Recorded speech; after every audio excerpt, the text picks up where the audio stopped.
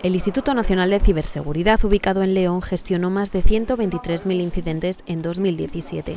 Unos datos que hemos conocido en la visita que el presidente del Gobierno ha realizado a la ciudad castellano y leonesa.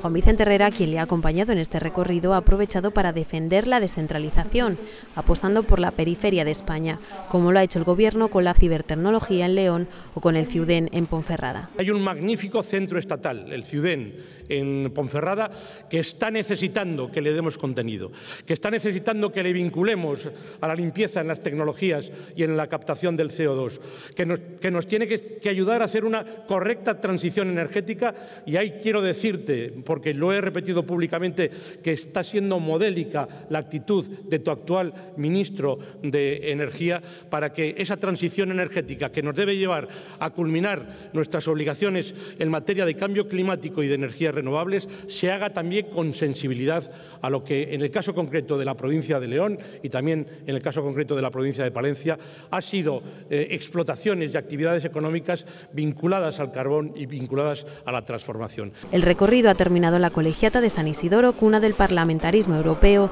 donde el presidente de la Junta de Castilla y León ha pedido al Gobierno la aprobación de los presupuestos generales del Estado. Sobre la base de los acuerdos políticos parlamentarios y finalmente de los acuerdos con las comunidades autónomas, podamos avanzar hacia un nuevo modelo de financiación autonómica que dé una mejor solución a aquellas competencias que son la razón de ser del modelo autonómico en España. Esta visita de Mariano Rajoy significa un nuevo reconocimiento a la ciudad de León.